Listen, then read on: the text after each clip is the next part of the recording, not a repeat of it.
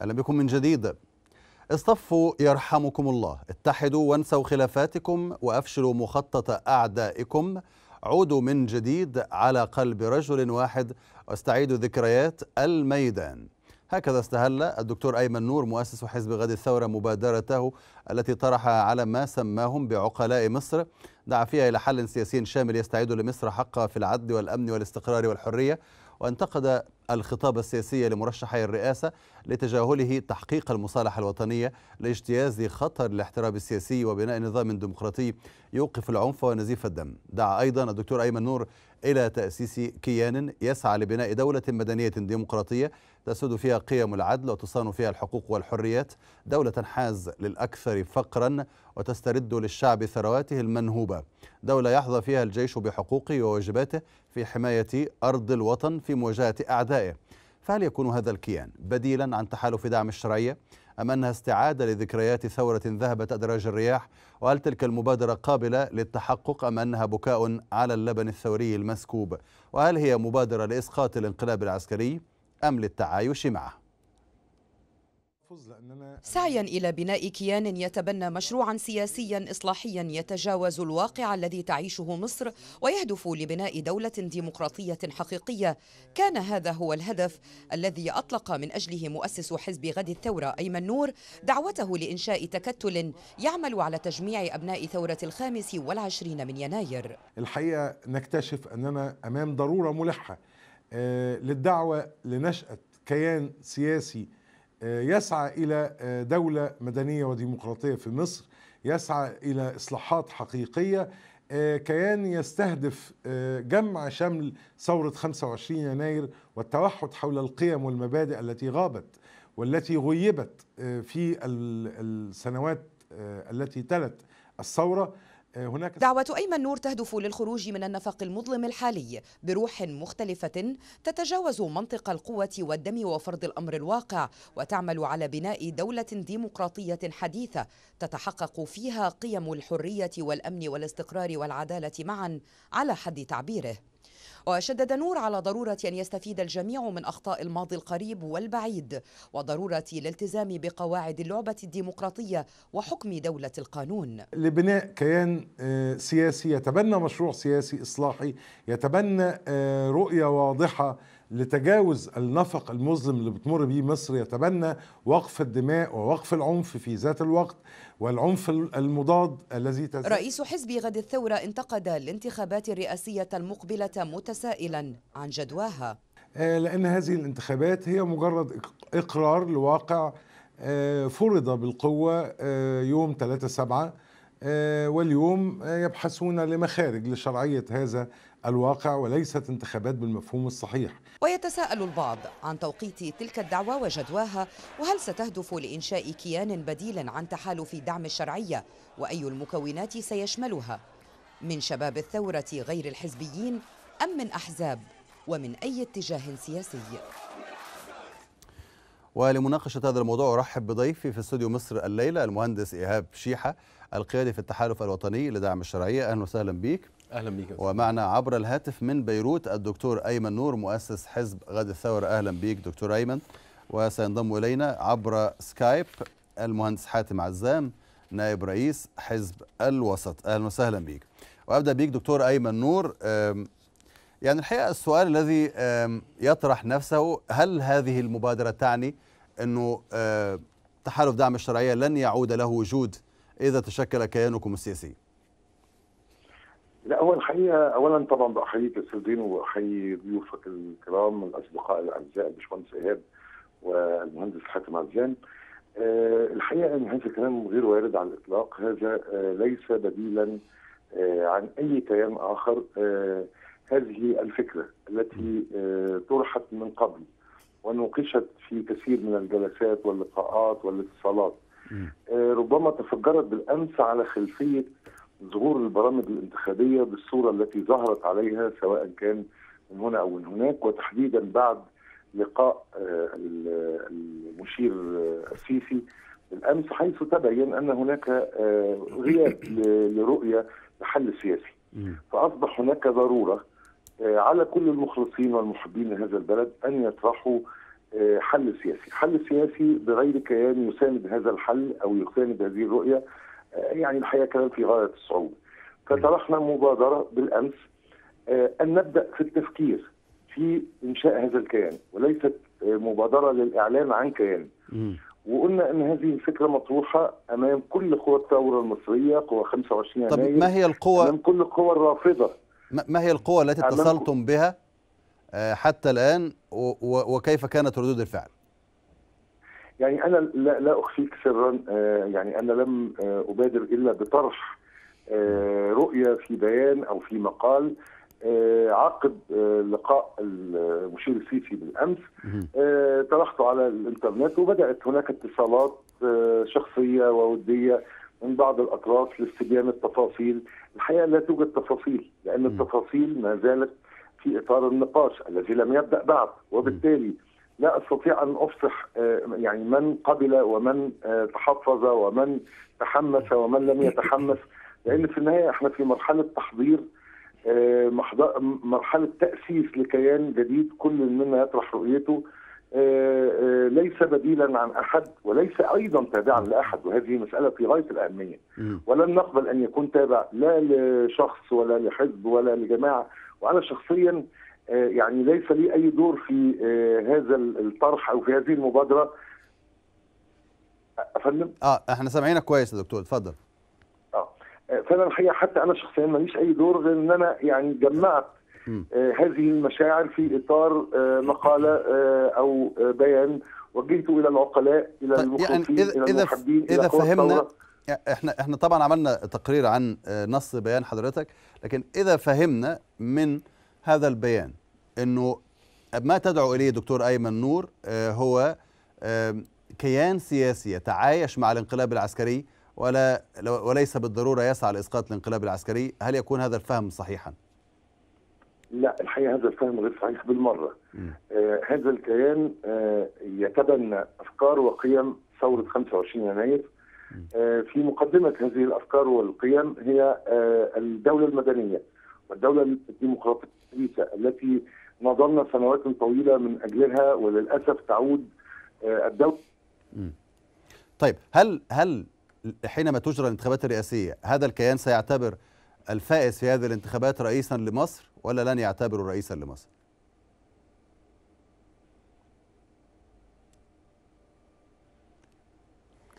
واضح إن إحنا آه، آه، انقطع الاتصال بالدكتور أيمن نور ربما نعاود الاتصال به في وقت لاحق. آه، دكتور مهندس اياب شيحة أنتم كتحالف دعم الشرعية آه، إيه رأيكم في هذه المبادرة؟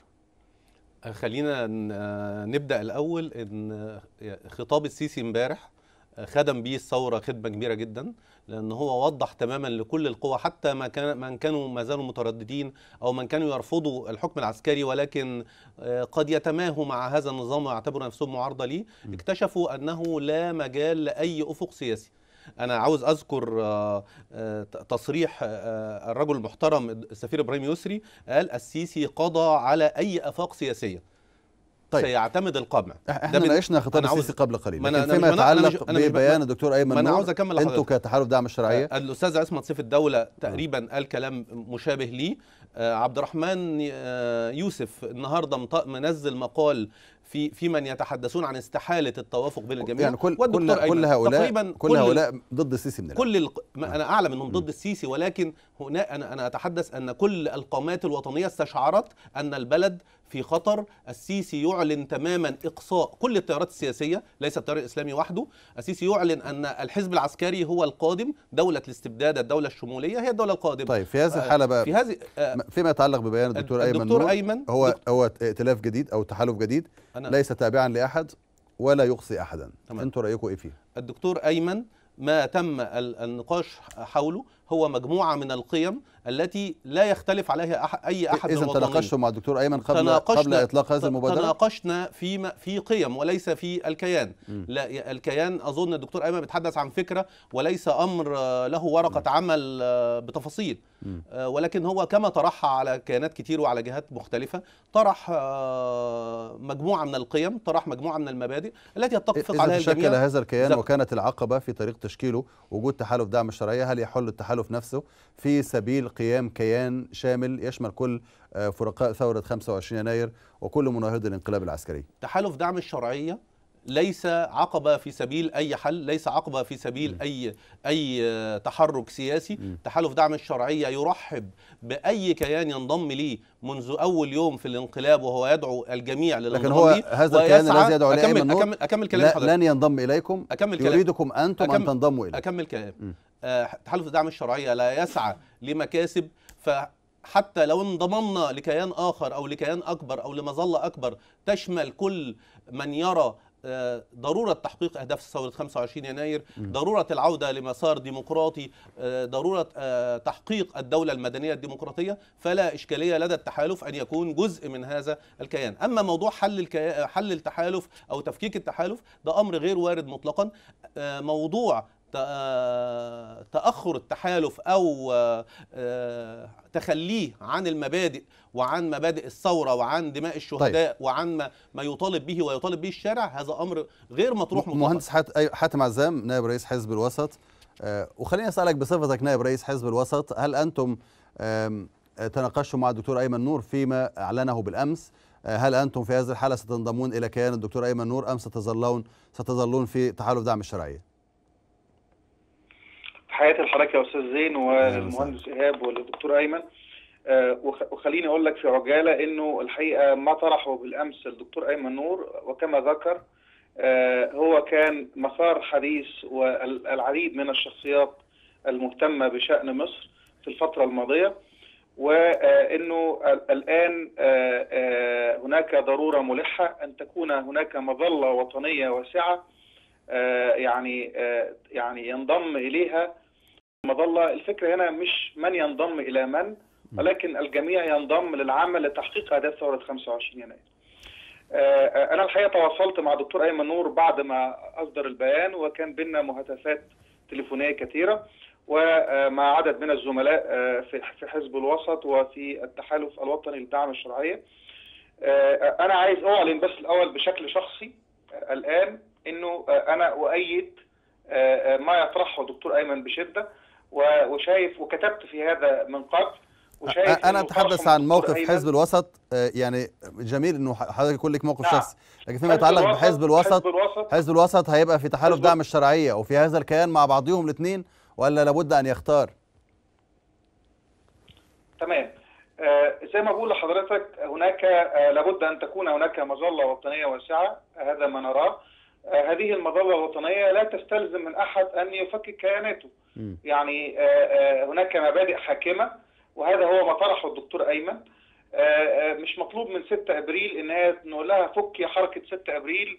واسمك ال ولا مطلوب ده من التحالف دعم الشرعيه فأنا أعتقد إنه ما يطرح الآن هو يطرح في إطار توحيد الجهود التي تعمل على عودة آه، مبادئ ثورة 25 يناير أشكرك. الوضع بات واضحا بامتياز أن السيسي هو مرشح الثورة المضادة آه، اشكرك لنظام قديم عاد بشكل أكثر شرف. شكرا جزيلا للمهندس حاتم عزام نائب رئيس حزب الوسط كان معنا عبر سكايب. نشوف أيضا المشاهدين عبر مواقع التواصل الاجتماعي آه، كيف استقبلوا هذه الأنباء عن كيان جديد لثوار 25 يناير. مع الزميل عمرو حسن. تفضل. في الواقع استقبلوها بمزيد من الأسئلة. هم يريدون فهم هذه المبادرة أو هذا الكيان. ما هي دوافعه؟ ما هي نواياه؟ هذا ما ظهر واضحا على تعليقات سيف مثلا الذي يقول إننا نكون صف واحد أفضل لكن ما نقدرش نحكم على الفكرة إلا لما نعرف مضمونها بالكامل. التدوين التالي على فيسبوك من عمارة يقول مرفوضة. يريد أن ينضم للشباب والثورة. أهلا وسهلا. التدوين التالي من أحمد يقول الدكتور أيمن بيبذل قصارى جهده لكن العسكر آآ آآ ولكن العسكر حالف ما هيسيب السلطة. سريعا على تويتر أحمد صفوت يقول مبادرة جيدة لكن نتمنى ألا تحدث شق أو شق في الشارع المصري. هكذا تباينت الآراء بشكل سريع. زين. اشكرك شكرا جزيلا. عمرو حسن أعود مرة أخرى إلى ضيفي عبر الهاتف آه، من بيروت الدكتور أيمن نور مؤسس حزب غد الثورة. آه، طبعا فرقاء الثورة آه، يمكن أن يلتفوا حول مبادئ ثورة 25 يناير إذا لم يكن قد جرى في النهر ماء كثير ودم كثير أيضا. آه، الآن آه، هل هذا الكيان يعني إنه لما نقول نلتف حوالين ثورة 25 يناير يبقى ما فيش معنى لرجوع الرئيس مرسي؟ آه، أستاذ زين أنا أنا بس اسمح لي لأن كان الخط انقطع كان عندي جملة مهمة ستحسم ال- الجدل حول فكرة هل هذا الكيان بديل هل هذا الكيان سيندمج في كيانات سابقة هل كيانات سابقة ستندمج فيه؟ خليني أقول لك جملة واضحة العلاقات الجبهوية. تحكمها آه، أو يحكمها شكل من شكلين إما علاقات اندماجية أو علاقات شبكية مم. هذا الكيان الذي أتصوره وما زال في إطار التصور والتفكير هو آه، علاقة شبكية بين قوى وتيارات وأحزاب ربما مختلفة ربما مختلفة في أمور كثيرة لكن بينها ما تتفق عليه وهو مبادئ وقيم ثورة يناير. وبالتالي نحن أمام علاقة شبكية وليس علاقة اندماجية هذا اولا. ثانيا ال- سؤالك برضو اللي حضرتك سألته عن إيه القوى التي أبدت حماس. الحقيقة ال- يعني مش عايز أقول الجميع لكن آه، قوى عديدة محترمة أبدت حماس للفكرة. لكن زي ما قال الباشمهندس إيهاب وزي ما قال آه، صديقي العزيز المهندس حاتم آه، المسألة ما زالت في إطار فكرة. هناك تفاصيل هناك تصورات هناك حوار يجب أن يبدأ حول هذه الفكرة كي تتحول من فكرة إلى آه، واقع سياسي مطلوب وبشدة في هذا التوقيت. طيب. هذا ما عندي. تمام. هو سؤالي عن الرئيس مرسي آه، أنتوا في هذا الكيان تصورك لعودته إيه؟ الحقيقة هذا الكيان سيضم في تقديري آه، ناس مع التمسك بشرعية الدكتور محمد مرسي. وسيضم أشخاص أو شخصيات عامة أو كيانات قد يكون لديها تحفظ على هذا الطرح الآن. مم. آه، لكن في النهاية الجميع يتفق على دولة ديمقراطية. آه، ليس بالضرورة أن يكون هناك اتفاق وتطابق في كل المواقف. هذا أمر آه، يعني رومانسي جدا وغير مطروح. لكن في النهاية جميعنا يرفض الانقلاب. آه جميعنا يرفض الانقلاب. جميعنا يرفض دولة الاستبداد وغياب الحقوق والحريات والاعتقالات واستخدام آه، غير عاقل للقانون بطريقة تمام. تهين فكرة العدالة أشكرك. يرفض هذه المسائل. أشكرك. شكرا جزيلا دكتور أيمن نور مؤسس حزب غد الثورة صاحب هذه المبادرة. آه، مهندس إيهاب شيحة ستكونون أنتم الآن تحالف دعم الشرعية. عندكم مطالب هي عودة الرئيس والبرلمان والدستور. آه، لكن حينما تنضمون إلى هذا الكيان إذا انضممتم ستكونون صوت من ضمن الأصوات. خلينا برضو نتفق إن هناك ح- حالة حاجة ملحة أن يتجمع الجميع أن يتجمع كل المصريين كل الوطنيين ضد آه، الانقلاب العسكري ضد الحكم العسكري من أجل تحقيق أهداف ثورة 25 يناير ومن أجل الدولة و- وليس بالضرورة من أجل. اعاده وليس بالضرورة من أجل إعادة مرسي لا يا فندم إعادة إعادة مرسي مبدأ واضح وصريح عودة مرسي هو مسار وليس مرسي كشخص. مسار ديمقراطي نريد أن يعود ثم بعد ذلك يكون مرسي موجود أو لا يكون مرسي موجود أنا أريد عودة مرسي.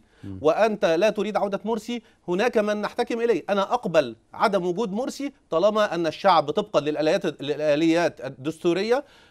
رفض مرسي شكراً. وأنت وأنت معلش حضرتك وأنت ترفض مرسي ولكنك ستقبل إذا كنا وطنيين وإذا كنا نتحدث بهذا ستقبل بوجود مرسي إذا كان الشعب طبقا للآليات الدستورية وافق على وجود شكرا مرسي جزيلا. المهندس إيهاب شيحة آه، عضو التحالف الوطني والقيادي الاتحاد الوطني لدعم الشرعية. شكرا جزيلا. ما زلنا معكم في مصر الليلة وفي البرنامج بعد الفاصل. صحف إسرائيلية تتحدث عن مذكرة تفاهم لتصدير الغاز الإسرائيلي إلى مصر. ألم يكن لدى مصر خيارات أخرى؟ وما تأثير ذلك على أمنها القومي؟